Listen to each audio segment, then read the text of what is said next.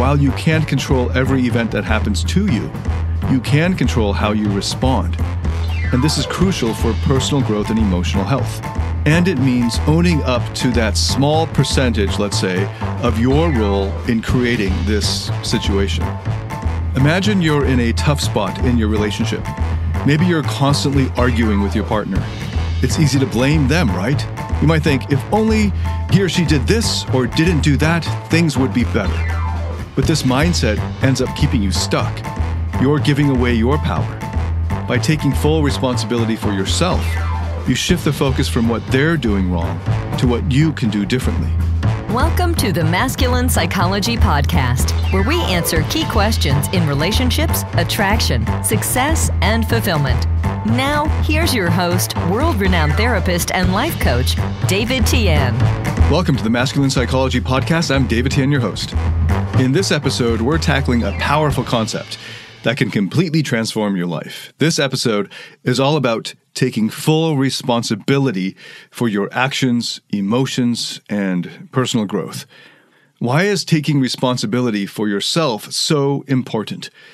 because it's the key to breaking free from that stuck, powerless feeling that many of us experience in our lives and relationships at some point, and for many of us for long periods. We've all been there, feeling trapped, thinking there's no way out. It's easy to blame others or the situation, but that only keeps you in a cycle of helplessness. By taking responsibility fully, you reverse the pattern. You move from being a passive victim to an active creator of your life. I've seen it countless times in my private practice. Clients come in feeling defeated, thinking they have no control. But as they start to take responsibility, their lives transform. They become more resilient, their relationships improve, and they feel more confident. This process isn't easy, but it is necessary and it's worth it. Okay, so I've got five points for this episode. Let's dive right in. The first is on what it really means to take full responsibility, especially in the context of existential therapy, which I will also unpack. This concept of full responsibility is a major turning point in your therapeutic process. When you start to acknowledge your own role in shaping your life experiences, everything changes. So, what does it mean to take responsibility? It's about realizing that you have more control over your life than you might think. It's about owning your actions, your decisions, and their consequences. It means understanding that while you can't control every event that happens to you, you can control how you respond. And this is crucial for personal growth and emotional health. And it means owning up to that small percentage, let's say, of your role in creating this situation. Imagine you're in a tough spot in your relationship. Maybe you're constantly arguing with your partner. It's easy to blame them, right?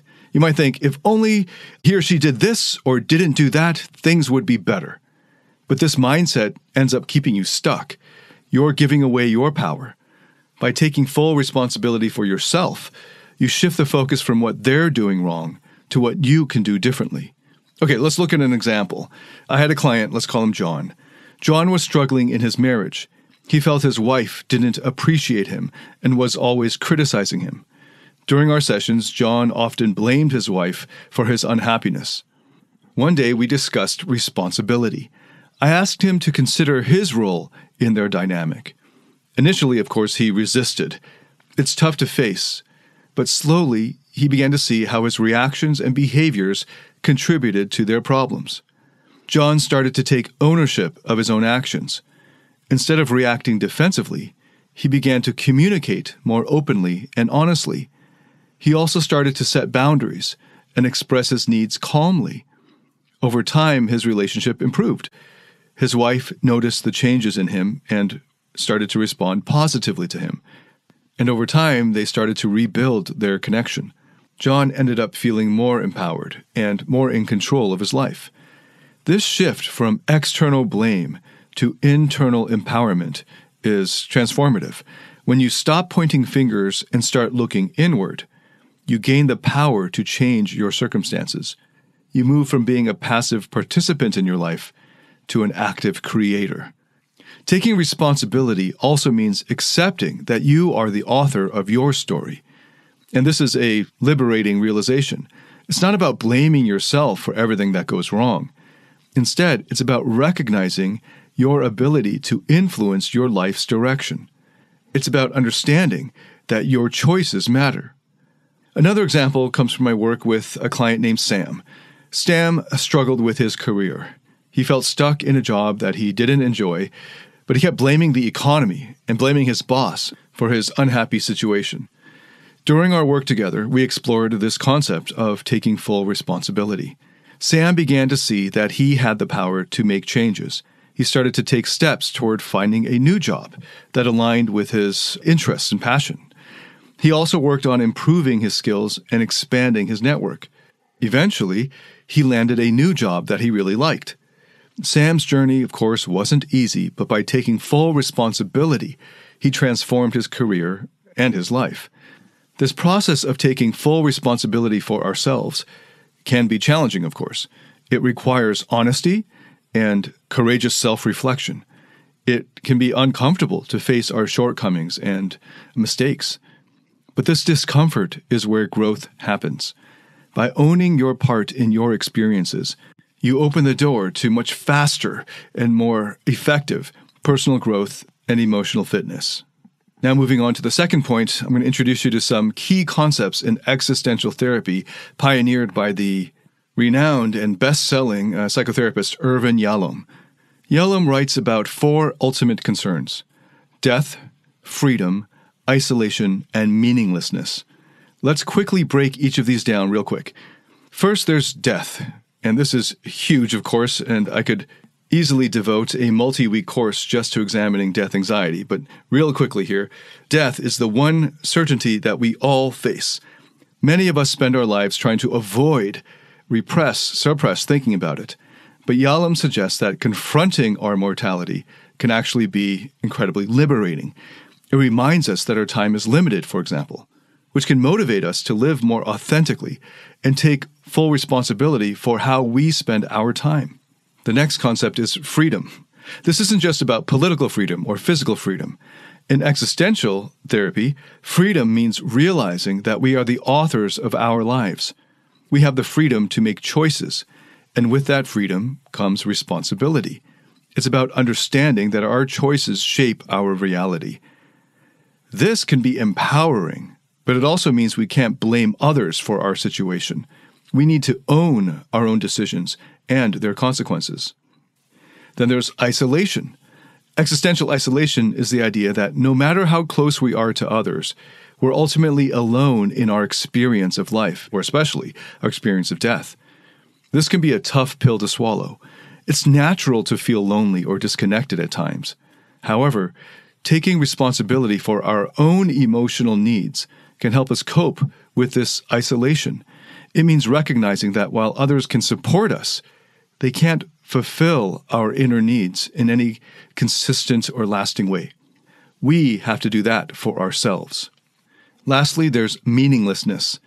This is the idea that life doesn't come with inherent meaning. We have to create our own purpose. This, of course, can be daunting, but it's also a powerful realization. By taking responsibility for our own life's meaning, we can find fulfillment in our own unique way. We get to decide what matters to us and to pursue it with intention. Okay, now let's focus a little bit more on existential isolation. This concept is especially relevant when we're talking about taking full responsibility for ourselves. We all experience moments of feeling alone, even when we're surrounded by people.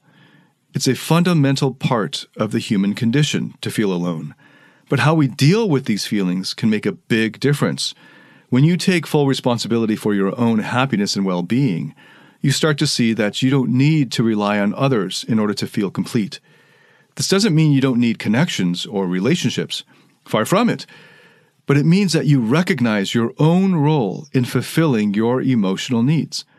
You stop expecting others to fix you or make you happy. Instead, you take charge of your own emotional health. For example, let's say you're feeling lonely. It's easy to fall into the trap of thinking, if only I had a partner, I wouldn't feel this way. But this puts your happiness in someone else's hands. When you take full responsibility for yourself, you start to look at what you can do to feel more connected. Maybe it means reaching out to your friends, or pursuing hobbies you love, or practicing some form of self care more consistently or frequently. You become proactive about addressing your own feelings of isolation. It can mean instead of constantly complaining about how others don't understand you, you instead focus on how you can be better understood. Or even more advanced, seeking a deeper level of understanding of the other person rather than needing to be understood. This shift in perspective is crucial. It's about moving from a mindset of dependency to one of empowerment. You realize that while relationships are important, they're not the sole source of your happiness. You have the power to create a fulfilling life on your own terms. Taking responsibility also helps you build stronger relationships. When you're not relying on others to meet all your emotional needs, you can approach relationships from a place of wholeness rather than neediness. This allows for more genuine connections. You're not looking for someone to complete you, but rather to complement your life. These existentialist ideas can be challenging to embrace because they require us to face some uncomfortable truths about existence. But by confronting these ultimate concerns, we achieve a deeper understanding of responsibility. We learn to take control of our own lives, make more meaningful choices, and deal with the inherent loneliness of the human condition. Let's shift gears here for our third point and look at how uh, Richard Schwartz's internal family systems therapy approach can help us make sense of this issue of taking full responsibility for our own lives. IFS therapy is an evidence based psychotherapeutic approach, of which I am a certified practitioner and a big fan of. And I think it's the best overall approach to psychotherapeutic issues. IFS is all about understanding the different parts within us and how they interact. It's like having an internal family, with each part playing a different role. In IFS therapy, you have your core self, or what's called your true self, which is the true you calm, compassionate, centered. And then you have various parts of you, like protector parts and exiled parts. And protector parts try to shield you from pain, while exiled parts are the most wounded parts of you that carry the concentration of that hurt and shame. The goal is to have your true self lead your system with all of your parts working together or relating to each other harmoniously. When it comes to taking full responsibility for yourself, IFS can be incredibly helpful. So, first, you need to get to know your various parts that are involved with some situation. This means acknowledging and understanding the different voices and feelings inside you, no matter how conflictual they seem. Maybe there's a part of you that's scared of failure, and another part that's angry at past experiences. By recognizing these various parts, you can start to see how they influence your behavior and your decisions.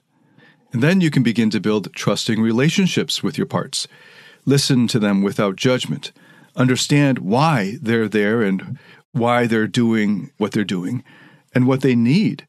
For example, your angry part might be protecting you from getting hurt again. By listening to it, you show compassion and you create space for healing. Once you've established a deeper connection or trusting relationship, you can move into unburdening these parts. This involves helping them release the pain and negative beliefs they've been holding on to from the past. In the process, you acknowledge that while these parts were trying to protect you, their methods may no longer be serving you anymore. For example, if you have a part that avoids responsibility because it's afraid of failure, you can work with that part to understand its fears. Show it that you, as the true self, can handle mistakes and learn from them and this would help the part to relax and trust that you can take responsibility without leading into disaster. Taking full responsibility for yourself also means understanding that your parts don't define you. They are aspects of you, but they're not the whole you. By leading from your core self, you can make choices that align with your true values and desires, rather than being driven by fear or past wounds. So, in practical terms, you can start by paying attention to your internal dialogue. Notice when you're feeling resistant or overwhelmed. You can ask yourself, which part of me is feeling this way? And then engage with that part from a place of curiosity and compassion. This approach can help you take ownership of your actions and decisions in a balanced and healthy way.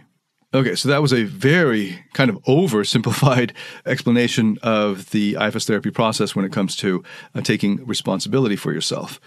If this process interests you, I highly recommend you find an experienced and uh, trained professional that can uh, show you the ropes of how to do this process. I, I recommend that before you just dive in and try to do it yourself. Maybe at least five to 10 sessions that are guided before relying on doing it yourself. As you go through the process, if you're doing it uh, properly, you'll experience taking responsibility as becoming more natural and less daunting. You'll feel more in control and more aligned with your true self. You can approach responsibility not as a burden, but as an opportunity for growth and self discovery. It's about bringing all the different parts of you into harmony and leading your life with confidence and clarity. No matter their physical strength, for many men, emotions are too much for them to handle. It's why they can't give women the deeper levels of emotional intimacy and connection that they crave. It's why they fail to be the man that modern women desire most a man with inner strength, a man who has mastered his emotions. Find out how to master your emotions through David Tian's Emotional Mastery Program. The Emotional Mastery Program is a step by step system that integrates the best of empirically verified psychotherapy methods and reveals how to master your internal state and develop the inner strength that makes you naturally attractive, happy, and fulfilled. Learn more about this transformational program by going to davidtianphd.com slash emotional mastery. That's D-A-V-I-D T-I-A-N-P-H-D dot com slash emotional mastery. Now let's get into some real life examples and therapeutic techniques that have helped clients reach this crucial turning point of taking full responsibility for themselves. I'm going to share some stories and methods that can illustrate how powerful this process of responsibility can be. Okay, uh, let's start with a client I worked with uh, named Alex, let's say. Alex came to me feeling stuck in his career and his relationship. He often blamed his boss for his lack of advancement at work and his partner for the constant tension at home. In our work together, it became clear that Alex was avoiding taking responsibility for his own actions and emotions. To help Alex, I used a combination of existential confrontation and uh, cognitive uh, reframing. Existential confrontation is about facing uncomfortable truths head on, which requires courage. I asked Alex uh, direct questions like What role do you think you play in your current situation? And how might your actions be contributing to these problems? These questions challenged him to reflect deeply and consider his own part in his struggles. At first, Alex was defensive. It's a natural reaction. But gradually, he started to see patterns in his behavior. For example, he realized he often reacted impulsively and defensively at work, which strained his relationships with his colleagues and his boss. And at home, he would shut down emotionally, leading to more conflict with his partner. And we use cognitive reframing, which involves changing the way you perceive situations. Instead of seeing himself as a victim of his circumstances, Alex started to view himself as an active participant with the power to change his situation. We worked on shifting his mindset from, this is happening to me, to, I have a role in what's happening and can influence the outcome. Alex began to take small but significant steps. He started by improving his communication at work, expressing his ideas more clearly, and listening more attentively to his colleagues. At home, he opened up more emotionally with his partner, sharing his feelings and concerns as honestly as he could. Over time, these changes led to better relationships both at work and at home. Another example is, let's call him Emilio. Emilio struggled with feelings of isolation and loneliness. He often felt disconnected from others and blamed his past experiences for his current state. He believed that his painful childhood made it impossible for him to form close relationships. With Emilio, we went through the IFS therapeutic process and helped him understand and take responsibility for his feelings. In IFS, we recognize that different parts of us hold different emotions and beliefs. We aim to let the higher self, the core, calm, and compassionate part of us, lead that process. In our work together, Emilio identified parts of himself that felt isolated and unworthy of love. These parts were exiles, holding deep seated pain from his past. He also had protectors that kept him from forming close relationships out of fear of getting hurt again. By acknowledging these parts and understanding their roles and how they got to be that way, Emilio began to see that while his past experiences influenced his feelings, he had the power to change his present situation. He worked on building a relationship of trust with his parts, showing them compassion and understanding, and checking in with them constantly. And this allowed his higher self to lead, making more conscious and empowered choices. Emilio started to take more responsibility for his social life. He reached out to old friends, joined new social groups, and practice being more vulnerable and open in his interactions with trusted people. This process was challenging, but with time, Emilio felt more connected and less isolated. He realized that he had the power to create meaningful relationships despite his past. Now, let's discuss the role of the therapist in facilitating this process, or the coach. As the therapist or coach, we must strike a balance between support and challenge. Too much support can lead to dependency, while too much challenge can cause defensiveness and resistance. In my own work, I aim to create a safe and supportive environment where clients can feel understood and validated, and this support helps build trust, which is essential for deeper work. At the same time, I make sure to challenge my clients to confront uncomfortable truths and to help them take responsibility for their own actions and own emotions. This balance helps clients to grow and empower them in the most efficient way possible to take control of their lives. For example, with Alex, I supported him by acknowledging his feelings and validating his experiences. But I also challenged him to look at his own role in his problems and encouraged him to take proactive steps to change his situation. With Emilio, I provided a safe space for him to explore his inner parts while gently pushing him to take more responsibility for his own and current feelings and actions. Therapeutic coaches guide clients in developing practical skills and strategies. This might involve teaching communication skills or stress management techniques or mindfulness practices.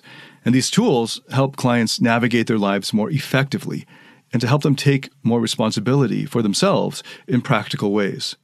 Taking full responsibility for yourself requires courage, honesty, and the willingness to face uncomfortable truths. But the rewards, of course, are immense. By taking full responsibility for yourself, you regain control over your own life you improve your relationships, and you live more authentically. So now we move to the fourth point out of five, which is all about how taking responsibility impacts your relationships and your personal development. This shift transforms not just how you interact with others, but also how you see yourself and live your life. Okay, so first let's talk about relationships.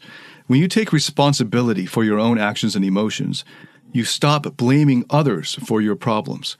This change leads to healthier and more authentic interactions. Instead of pointing fingers, you start to look at what you can do differently. And this creates a more constructive dynamic in your relationships. For example, imagine you're in a disagreement with your partner. Instead of immediately blaming them for how you feel, you pause and reflect on your own role. You can ask yourself, How am I contributing to this situation? This self awareness allows you to communicate more effectively and resolve conflicts more constructively.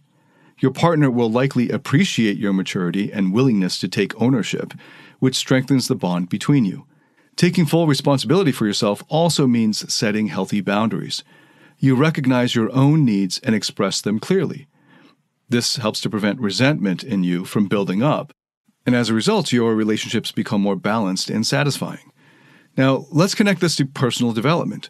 Taking responsibility boosts your self awareness.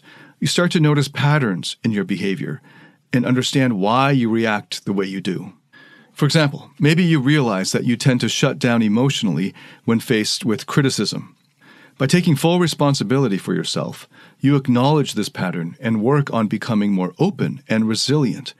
This process involves self reflection and a willingness to confront uncomfortable truths about yourself. Responsibility also builds resilience. When you accept that you have control over your responses, you become less vulnerable to external factors. You understand that while you can't control everything that happens to you, You can control how you deal with it, how you respond to it. This mindset makes you more adaptable and better equipped to handle life's challenges. Autonomy is another key benefit and need that gets fulfilled. When you take responsibility for yourself, you stop waiting for others to solve your problems. You take charge of your life and make decisions that align with your values and goals. And this sense of autonomy is empowering. It allows you to pursue your passions and live authentically. And let's not forget the long term benefits, like improved mental health. Taking responsibility helps you break free from a victim mentality, which can be draining and disempowering. And instead, you feel more in control and capable of navigating life's ups and downs. And this shift reduces anxiety, reduces depression, and boosts overall well being. Another major benefit is living a more fulfilling life. When you take responsibility for yourself, you create a life that reflects your true self. You make choices that align with your values and bring you joy. You stop settling for less and start striving for what truly matters to you. For example, let's say you're unhappy in your job. Instead of blaming your boss or the company, you take full responsibility for your own career satisfaction. You assess what you can do to improve your situation. This might involve seeking new opportunities, or furthering your own education, or developing your own or new skills. By taking proactive steps, you move towards a more fulfilling career that aligns with your passions and strengths. In relationships, this fulfillment translates to deeper connections. When you're responsible for your own happiness, you're not looking to others to fill a void. You enter relationships from a place of wholeness, which allows for more genuine and meaningful connections with others. You appreciate your partner for who they are, not for what they can do for you. Let's look at another example. Let's take Sam. Uh, Sam struggled with feeling unfulfilled and disconnected in his social life. He often blamed his friends for not understanding him or not making enough effort. Through the therapeutic process, Sam started taking responsibility for his own uh, social fulfillment. He reached out to people who shared his interests. He initiated activities that he enjoyed, and he communicated his needs more clearly. Over time, Sam built a supportive and fulfilling social circle that made him feel connected and valued. The impact of taking responsibility for yourself extends to all areas of your life. It influences your career, your friendships, family dynamics, and even how you view yourself. It's a fundamental shift that permeates everything you do. Taking full responsibility for yourself transforms your relationships and your personal growth. It leads to healthier, more authentic interactions. It increases your self awareness, your resilience, your autonomy, and it brings these long term benefits like improved mental health and experiencing a more fulfilling life. It's about taking control and creating a life that truly reflects who you are and what you value. Okay, so now we move into the fifth and final section. And here I'd like to examine the challenges and resistance that you might face when you start accepting full responsibility for yourself. This process isn't easy, so it's normal to encounter obstacles along the way. But with patience, empathy, and persistence, you can overcome these hurdles and experience transformative growth. Okay, so one common challenge is the fear of failure. Many people resist taking responsibility for themselves because they're afraid of making mistakes or facing criticism. This fear can be paralyzing, which can lead to avoidance or denial. But it's crucial to remember that failure is a part of the learning process, of course. Embracing full responsibility for yourself means accepting that you will make mistakes, but also that you can learn from them and, as a result, grow stronger. Another challenge is the ingrained habit of blaming others. It's often easier to point fingers and avoid looking at your own role in a situation. This habit can be very deeply rooted, especially if it's been a coping mechanism for a long time. Breaking this habit requires conscious effort and monitoring and self reflection. Start by catching yourself when you're about to blame someone else and pause. Reflect on your own actions and consider what you could have done differently. A significant resistance can come from the discomfort of facing painful emotions. Taking responsibility means confronting feelings of shame, of guilt, or regret, and these emotions can sometimes be overwhelming, and it's natural to want to avoid feeling even a little bit of them. But facing them head on is a necessary step in the process. Allow yourself to feel these emotions without judgment. Understand that they are a part of your growth journey. To overcome these challenges, patience is key. Of course, change doesn't happen overnight. It's a gradual process that requires consistent effort.